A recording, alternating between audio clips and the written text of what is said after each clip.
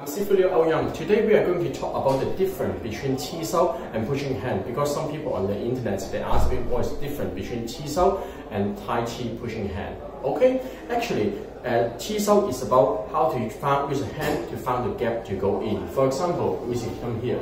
So I feel if there's a gap, I can attack Uzi. I feel the gap there's, I can attack Uzi. I can use one hand to control two hands to attack, right? For example, one hand control two hands to attack. This is more like the Wing Chun Shao. I found, I feel if there's a gap, for example, let's say using his elbow out, you know, I can punch. For example, if elbow, uh, uh, if the hand down, I can attack. So in Shao, this is, this is what happened from here.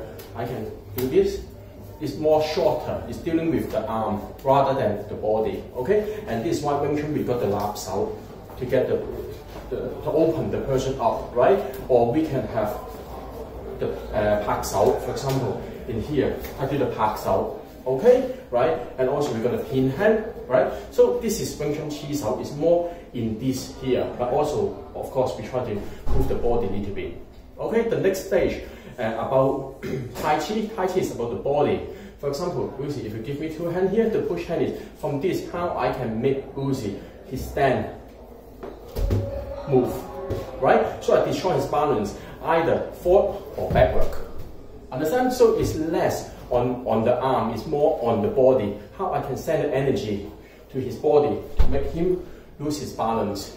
So it's this involved, I feel his structure through his arm and send the energy into his torso or into his center of balance to destroy his center. Okay, but in our school we do two things. We do two together. We use the Wing Chun Chi Sau to find the gap, but also we destroy the balance at the same time. So this is will be, uh, I find the gap, I attack. But can you see the balance is gone?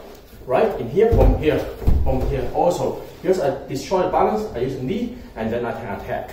Right? So everything is two things together. I feel the gap, I can attack. But at the same time, I feel the center here is weak.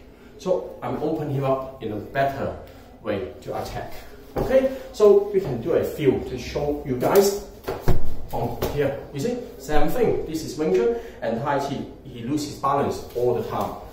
So, okay, here, same thing. Oh, here, same thing. Okay.